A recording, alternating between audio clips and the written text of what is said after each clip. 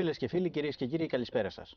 Περιβάλλον κυνήγι μύθοι και αλήθειες λίγο πριν το τέλος της τηλεοπτικής σεζόν. Θα είμαστε μαζί για μία, το πολύ δύο ακόμη εβδομάδες ε, για να ολοκληρώσουμε τον κύκλο των φετινών εκπομπών. Ε, η εκπομπή που σας κράτησε συντροφιά, θέλουμε να πιστεύουμε με ενδιαφέροντα θέματα και συνεντεύξεις παρουσιάζοντάς σας ε, μια διαφορετική εικόνα για την κυνηγητική κυρίως δραστηριότητα.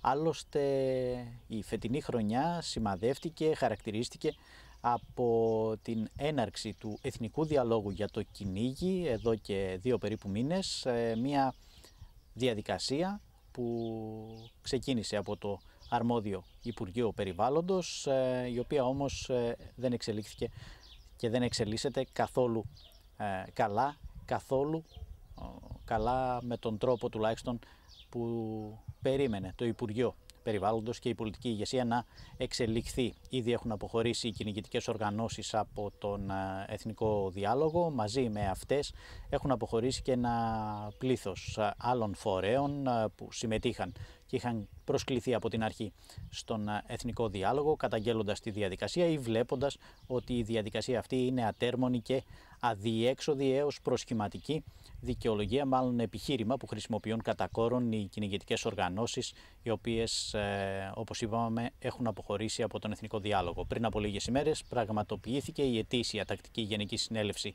ε, της 5ης Κυνηγητικής Ομοσπονδίας Υπήρου στα Ιωάννινα, όπου το βασικό θέμα συζήτησης φυσικά ήταν οι τελευταίες εξελίξεις με τον Εθνικό Διάλογο. Θα περάσουμε ευθύς αμέσως να παρακολουθήσουμε δηλώσεις του Αντιπροέδρου ε, της 5ης ε, Κυνηγητικής Ομοσπονδίας, του κυρίου Σκαμαντζούρα, καθώς η Γενική Συνέλευση ήταν κλειστή για ευνόητους λόγους ε, καθώς εξελίσσεται ο διάλογος, ο εθνικός διάλογος ε, για το κυνήγι και θα πρέπει να αποτυπωθούν ε, και οι εξελίξεις, πώς διαμορφώνονται οι εξελίξεις αλλά και να καθοριστεί και η θέση και στάση το επόμενο διάστημα των κυνηγητικών οργανώσεων. Είχαμε παράλληλα την ευκαιρία να συνομιλήσουμε με προέδρους και εκπροσώπους κυνηγετικών συλλόγων με τους οποίους δεν είχαμε την ευκαιρία να συνομιλήσουμε στη διάρκεια της φετινής χρονιάς, ε, να τους γνωρίσουμε δηλαδή και μιλάμε για τον κυνηγετικό σύλλογο Φιλιππιάδας και τον κυνηγετικό σύλλογο Λευκήμης από την Κέρκυρα. Περνάμε ευθύς αμέσως να παρακολουθήσουμε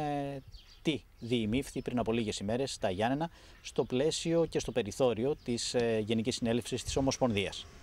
Είναι η ετήσια τακτική Γενική Συνέλευση της Ομοσπονδίας να απολογηθούμε για τα πεπραγμένα της προηγούμενης χρονιάς, τον, να, τον προϋπολογισμό και τον, να εγκρίνουμε τον απολογισμό για τον προϋπολογισμό της νέας χρονιάς, αλλά το κυριότερο αυτή τη στιγμή στα αναμένα κάρβουνα που βρίσκεται ο κυνηγητικός κόσμος είναι να ενημερώσουμε τα μέλη μας το τι θα γίνει με τη νέα κυνηγητική περίοδο, πώς θα αντιδράσουμε, πώς θα δράσουμε, και τι αποφάσεις πρέπει να πάρουμε εμείς και να μην τις πάρουν άλλοι ερήμην ημών.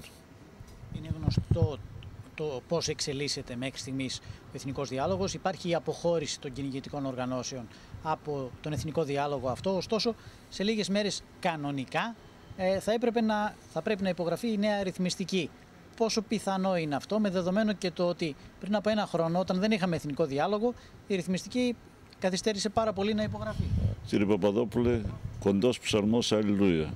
Έφτασαν οι ημερομηνίες που θα πρέπει να εκδώσει τη νέα αριθμιστική ο υπουργός.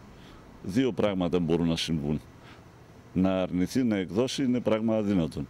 Να είναι κατά των κυνηγών και αυτό δεν θα είναι από τα καλά όσον αφορά μια, μια ενασχόληση 200.000 ατόμων. Αλλά κολλησιεργεί πάρα πολύ και αυτό μάλλον θα πρέπει να είναι εις βάρος των κυνηγών. Αν, αν ένα 0,5 θα αποφασίσει για τους κυνηγούς την τελευταία στιγμή, ο κύριος Τσιρόνης κάνει λάθος. Και πιστεύω ότι εμείς θα πρέπει να ενημερώσουμε τα μέλη μας και τις ενέργειες που πρέπει να κάνουμε, πού βρισκόμαστε και να μην νομίσουν ότι μας ευνηδιάζει την τελευταία στιγμή παίρνει τις αποφάσεις. Είπατε προηγουμένως ότι αποχωρήσαμε από τον εθνικό διάλογο. Με ένα προσχεδιασμένο διάλογο, προαποφασισμένο, να κάνουμε τι; Να βρεθούμε εκεί και οι περισσότερες ε, ομάδες, αν πω έτσι που καλέστηκαν, δασολόγοι, γεωτέ, επιστήμονες, πανεπιστημιακοί, αποχώρησαν οι περισσότεροι και έχουν παραμείνει δύο-τρεις οικολογικές οργανώσεις, οι οποίες είναι μόνος σφραγίδα 20 και 30 ατόμων. Θα αποφασίσουν αυτοί για μας ερήμην ημών σε ένα προσχηματικό διάλογο που το αποτέλεσμα το γνωρίζουμε. Το θέμα είναι εμείς τι θα πρέπει να κάνουμε, το πώς θα πρέπει να δράσουμε και να αντιδράσουμε και καλούμε και τον κόσμο της πολιτείας διότι ε, αν υπάρχει ο κύριος Τσιρόνης ο οποίος έχει μια άποψη και καλά κάνει υπάρχουν άλλοι 299 βουλευτές. Ε, είπε ο κύριος Τσιρόνης, είπε ο Θεός, οι υπόλοιποι δεν έχουν άποψη, δεν έχουν νόμοι, δεν έχουν γνώση.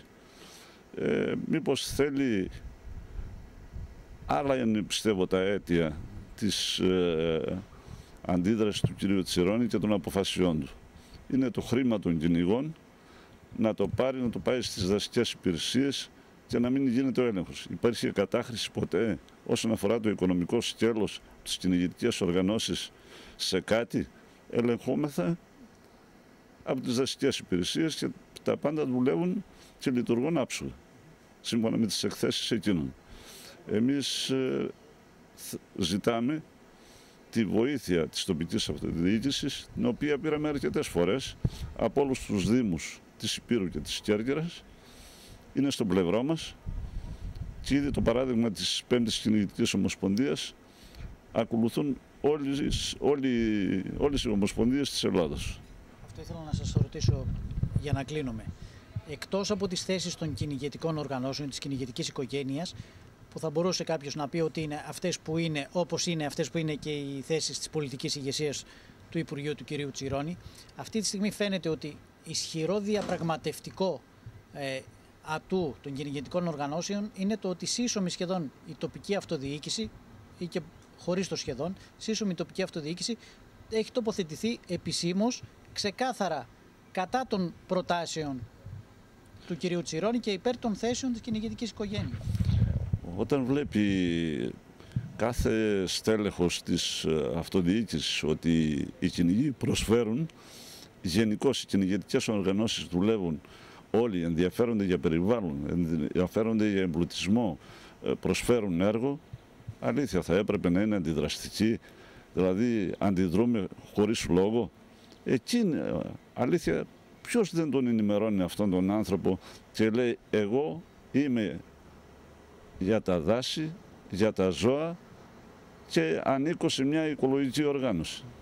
Τα υπόλοιπα πιστεύω ότι τα γνωρίζει εδώ και χρόνια που ασχολείται. Με ποιο πρόγραμμα; Εμείς είμαστε εκείνοι που διαθέτουμε μελέτες κάθε χρόνο, όπως ξέρετε όταν εκδίδεται η ρυθμιστική, εκδίδεται με μια μελέτη, την οποία πηγαίνει στο Υπουργείο Ανάπτυξης και καθορίζει.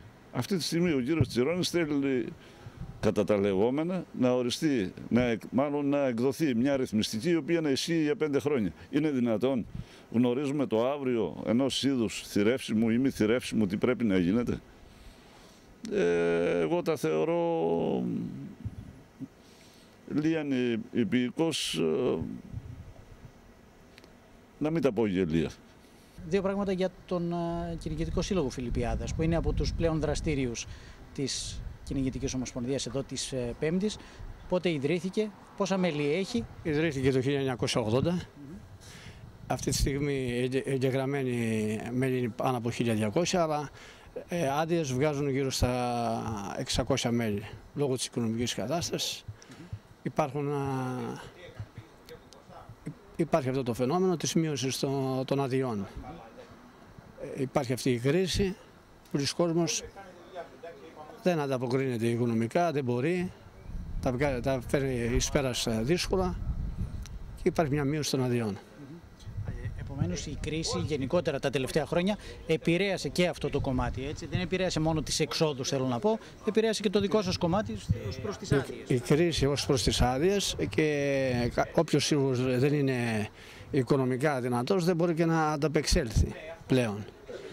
Ε, μην παίρνετε βάση από τους συλλόγους μεγάλους οι οποίοι έχουν, ε, έχουν μια, μια οικονομική άνεση λόγω των πολλών αδειών και τις πολλές εισφορές τις οποίες λαμβάνουν από τα μέλη. Οι μικροί σύλλογοι αντιμετωπίζουν κάποιο πρόβλημα, αν κάποιος σύλλογος δεν κάνει και τη σωστή διαχείριση και των χρημάτων και, και των ε, όλα είναι περί οικονομίας. Ε, δηλαδή να, πρέπει να περιορίσει και αυτό στα έξοδά του και όλα τα συναφή. Να πούμε δύο πράγματα. Πώς, πώς τελείωσε αυτή, πώς ήταν αυτή η χρονιά σε κυνηγητικό επίπεδο έτσι για την ε, δική σας περιοχή; Ε, στην, στη δικιά μας περιοχή είναι μια μέτρια, μια, μια μέτρια κατάσταση. Έχουμε το βάλτο της Πέτρας, οι οποίοι έχουν δοθεί μερικές ζώνες. Δεν μπορούν να, να ε, οι κυνηγοί να, να κυνηγήσουν ελεύθερα, είναι 10 ζώνες. Απλώς υπάρχει μια δραστηριότητα για μας κυνηγούς ελλειπής. Αλλά το θέμα σε εμάς ήταν να, να πατήσουμε το πόδι μας ε, στο βάλτο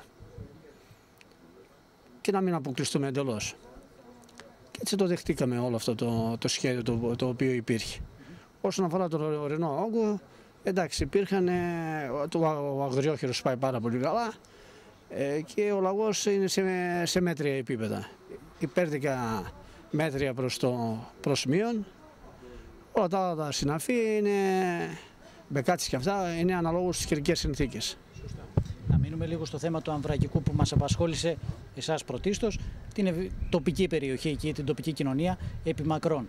Ποιο είναι το αποτύπωμα αυτών των τριών τελευταίων ετών που έχει ανοίξει έστω σε αυτές τις ζώνες ο αμβρακικός, δηλαδή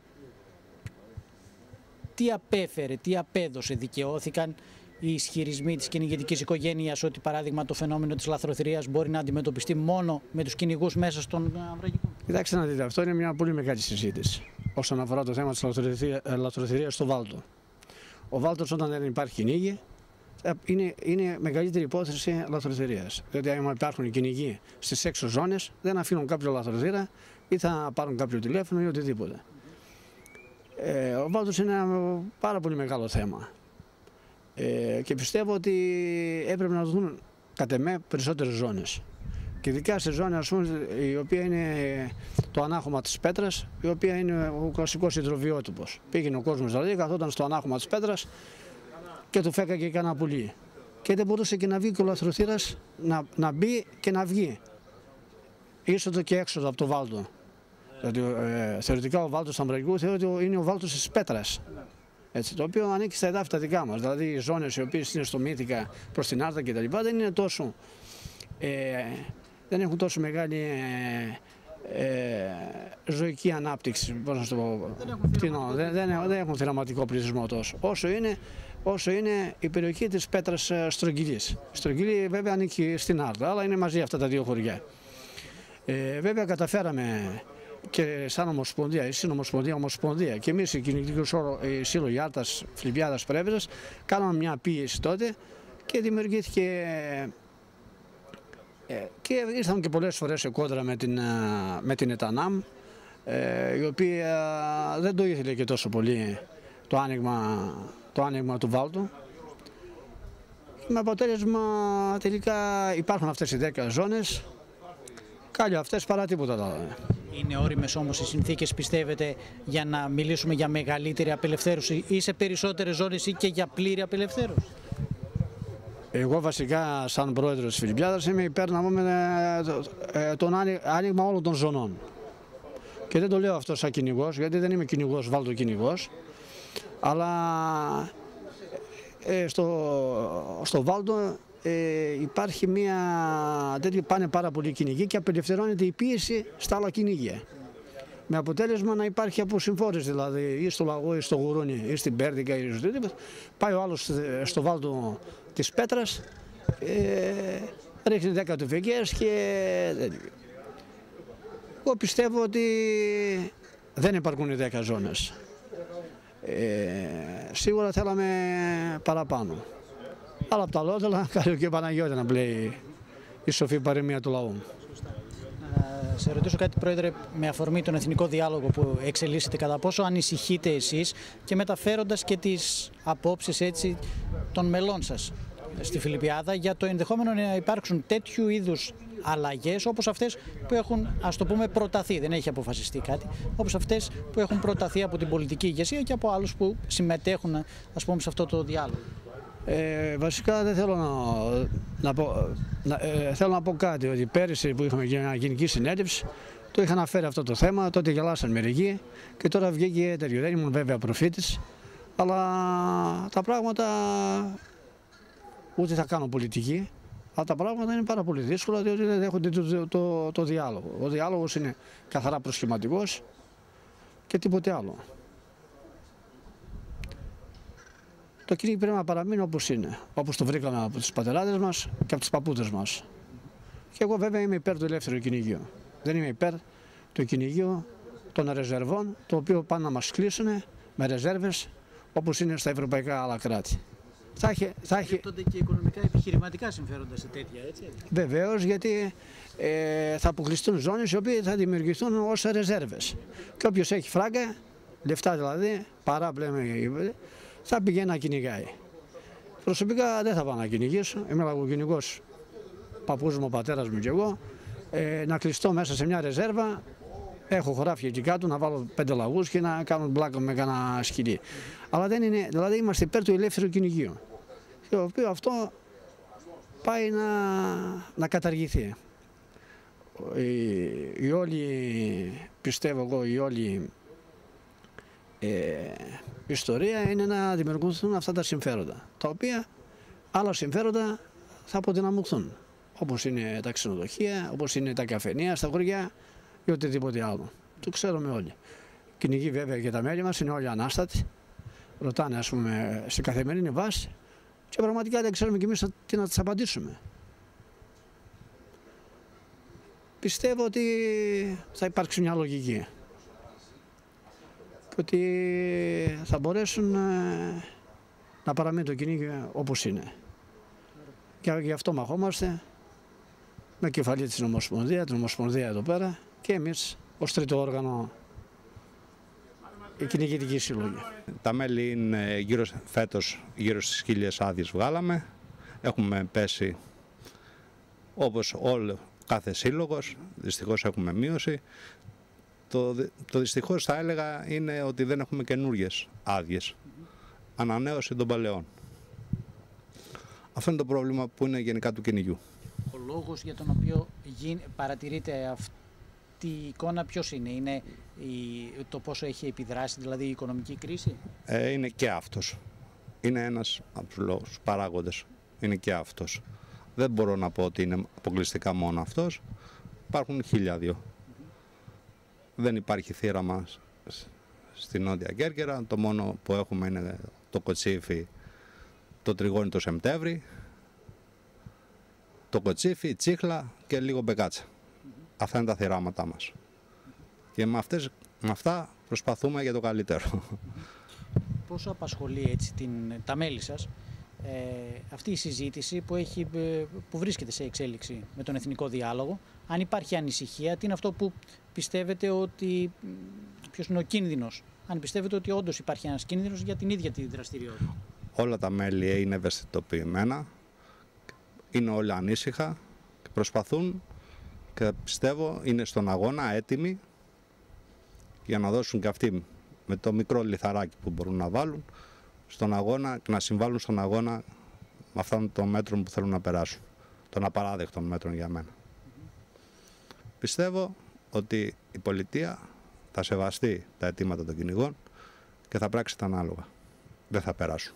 Στο δεύτερο μέρος της εκπομπής θα παρακολουθήσουμε ένα πολύ μικρό απόσπασμα τις δηλώσεις καλύτερα ε, του Προέδρου του Ομίλου Φίλων Ελληνικού Ιχνηλάτη του κυρίου Πεσιλή, οι οποίες έγιναν πριν από λίγες ημέρες ε, κατά τη διάρκεια των αγώνων της διαδικασίας αναγνώρισης και πιστοποίησης του ελληνικού ιχνηλάτη που πραγματοποιήθηκε στα Ιωάννινα όπως και του διεθνούς κριτή του κυρίου Γκόπη ε, που βρέθηκε και αυτός στην περιοχή μας για την διαδικασία πιστοποίησης και αναγνώρισης της μοναδικής αυτής πιστοποιημένης ελληνικής φυλής ε, κυνηγετικών ε, σκύλων. Το κάνουμε γιατί μας το ζητήσατε και εσείς ε, οι ίδιοι. Δεν μπορούμε να επαναλάβουμε σε αυτή τη φάση ολόκληρη την εκπομπή. Θα παρακολουθήσουμε όμως ένα πολύ μικρό απόσπασμα και κυρίως τις δηλώσεις που ακολούθησαν την διαδικασία η οποία ολοκληρώθηκε στην περιοχή του Κουτσελιού. Πραγματοποιήθηκε εκεί συνεχίστηκε την ίδια μέρα και σε άλλη περιοχή, στην περιοχή του Πογονίου. Ήταν ε, και είναι μια ενδιαφέρουσα διαδικασία ε, η οποία προκαλεί το ενδιαφέρον ε, και για όσους ασχολούνται με τον ελληνικό ιχνηλάτη αλλά και για εκείνους που έχουν την ευκαιρία να πληροφορηθούν, να μάθουν για πρώτη ίσως φορά ποιος είναι ο σκύλος αυτός, ε, ποια είναι τα χαρακτηριστικά του και πώς είναι η διαδικασία την οποία προσπαθεί να υλοποιήσει τα τελευταία χρόνια ο όμιλος φίλων του ελληνικού ιχνηλάτη έτσι ώστε να ε, σφυριλατήσει ε, στην κυνηγετική οικογένεια την σημασία που πρέπει να προσδώσουν όλοι στο να αναγνωριστεί, να πιστοποιηθεί και να αναπαραχθεί αυτό το είδος του κυνηγετικού σκύλου. Αυτή είναι Κάποια κοπέλα μου. από, από δικά μας αίματα εδώ. Λοιπόν, Δεν η, έχει. η οδοντοστοιχεία της είναι άψογη. Λοιπόν. Σου πέρα στο... Βόηθα τη, στήστε τη, στήστε την μαζί στο στοιχείο να δούμε για να κάνουμε, να πάρουμε μια ένδειξη. Ένα, δύο, τρία. 43 λες. 46, Λοιπόν, 47. τώρα. 45, εντάξει είμαστε. Δεν θέλω ακριβώς, θέλω να είναι πάντα. Ε. Βλέπεις εδώ το, το, το συνδυασμό πώς είναι; Ναι, που έχει εδώ την... Έχει, τη- έχει τη γραμμή την κόκκινη και από τα πλάγια είναι μαύρα. Αυτό είναι ένας από τους συνδυασμούς που προκύπτουν. Μπορεί να είναι το ανάποδο, να είναι κόκκινο με μαύρο το επάνω. Μπορεί να είναι και εντελώς κόκκινο. Ιδρύθηκε το 1998, ο σκοπός του όπως αποδεικνύεται είναι πάρα πολύ μεγάλος. Με την ίδρυσή του καταφέραμε και διατηρήσαμε όπως μπορέσαμε το σκυλί ε, μέχρι τις μέρες μας και πλέον έχει μπει σε τέτοιες ε, διαδικασίες η εξέλιξη αυτή της ε, διάσωσής του που νομίζουμε ότι τα επόμενα χρόνια θα είναι ακόμα πιο σημαντική και θα παραδώσουμε στους απογόνους μας το σκυλί όπως πραγματικά το ζήσαν οι πρόγονοί μας και είμαι πεπισμένος ότι θα τα καταφέρουμε. Κάνετε μία εξόρμηση, μία διαδικασία αναγνώρισης ουσιαστικά του, του καθαρόιμου ελληνικού ιχνηλάτη, αναζητώντας ε, καθαρόιμα άτομα σε ολόκληρη την, την Ελλάδα. Πώς εξελίσσεται αυτή η διαδικασία, αν, πισ- αν βρίσκεται όσα περιμένετε ε, καθαρόιμα σκυλιά ε, και αν ο κόσμος που διατηρεί ή πιστεύει ότι διατηρεί τον ελληνικό ιχνηλάτη έχει αυτή την ε, εντύπωση χωρίς να γνωρίζει και τα ε, εξειδικευμένα χαρακτηριστικά του σκύλου. Πολύ καλή ερώτηση. Η προσπάθεια ξεκίνησε από το αμέσως μετά την ίδρυση του ομίλου από το 99. Τότε με αρρωγό και τον ε, ΚΟΕ ε, και τους κριτές που υπή- είχαμε τότε, τους διεθνείς κριτές και, ε, που αναγνωρίζανε σκύλους τέτοιους, ε, καλέσαμε όλο τον κόσμο μέσω των διαδικασιών που υπήρχαν τότε, γιατί τώρα με το διαδίκτυο μπορείς εύκολα να ενημερώσεις τους πάντες, ε, να φέρουν τα σκυλιά κοντά μας.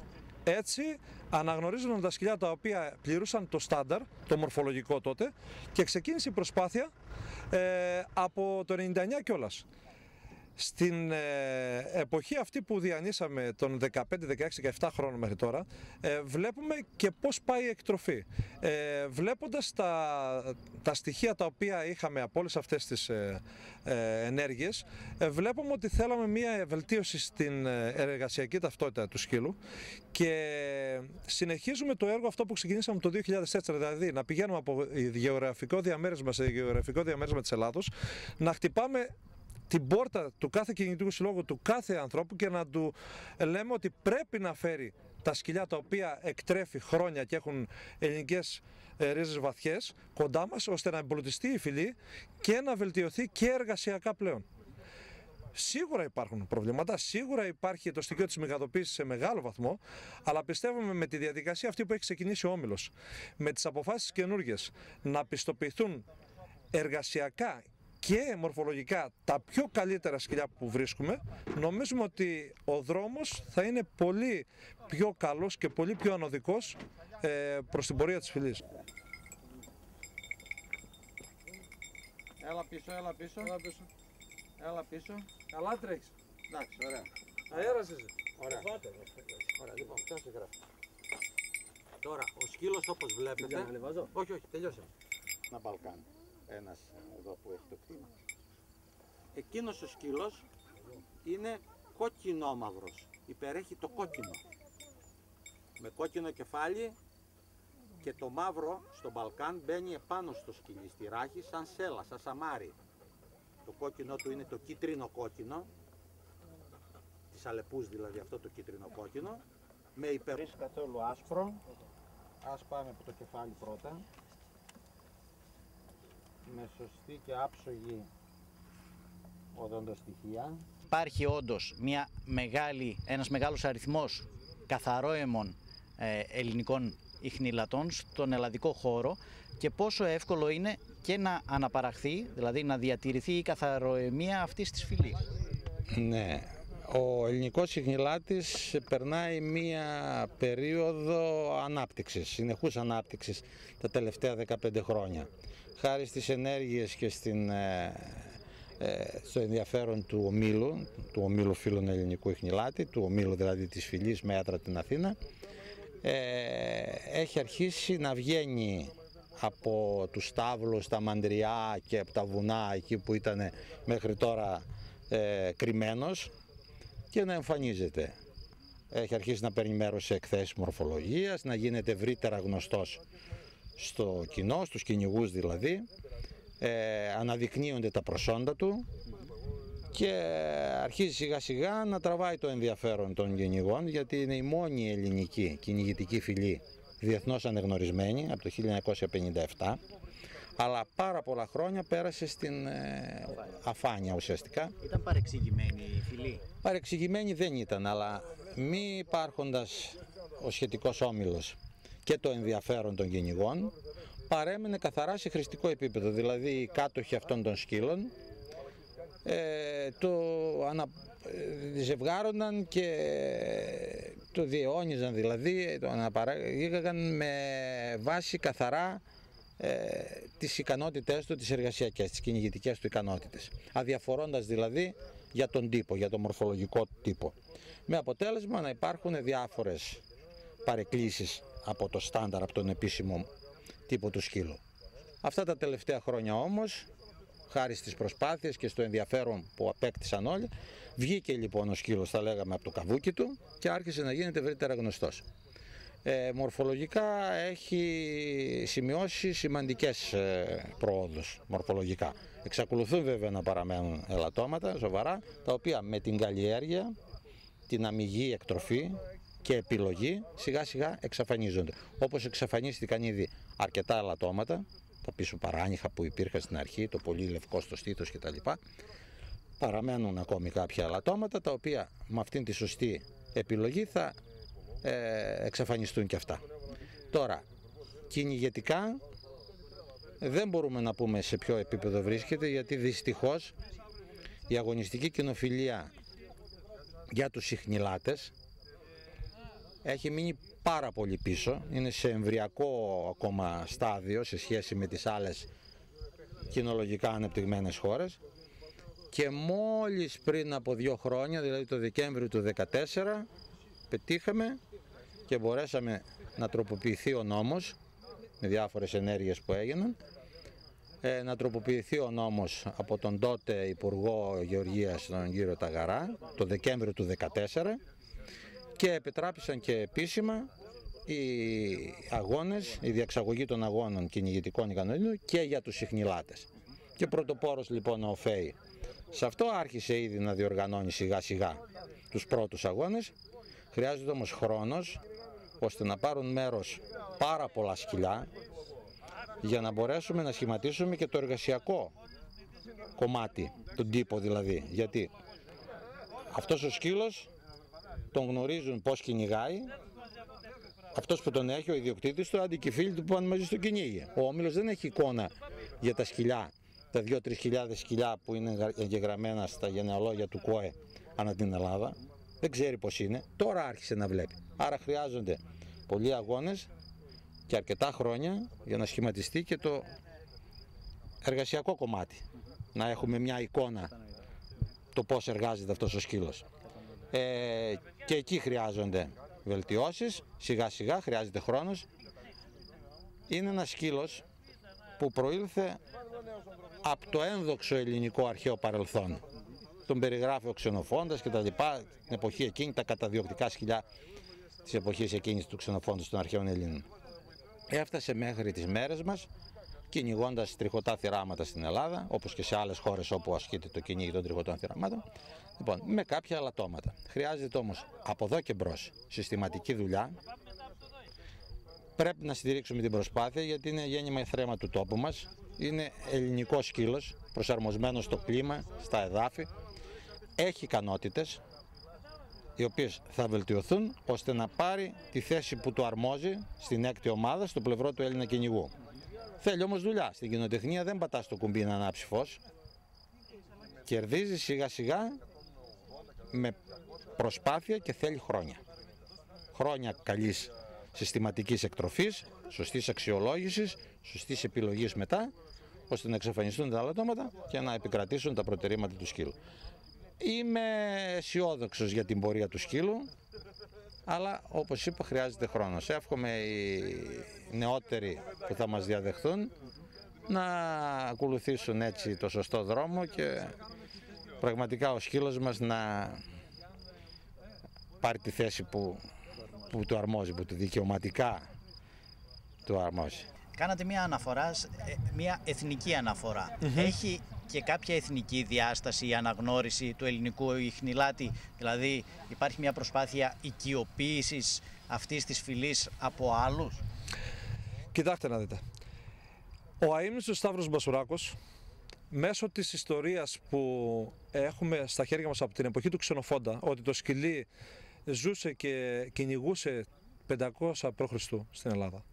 Έτσι, προσπάθησε αυτός ο άνθρωπος με τα πολεμικά να κάνει κάτι το οποίο θεωρούμε ότι ήταν ακατόρθωτο για την εποχή εκείνη. Κατάφερε να βρει κάποια σκυλιά, να τα μετρήσει, να τα δει, να συντάξει το εθνικό ε, πρότυπο και να το στείλει στην FCI και να αναγνωριστεί παγκοσμίως ως η μοναδική ελληνική φυλή. Ερχόμαστε τώρα στις μέρες μας και προσπαθούμε να διατηρήσουμε αυτό το οποίο δεν έγινε από το 50 έως το 1998 έτσι. Ε, να το κάνουμε εμείς, οι μεταγενέστεροι Έλληνες.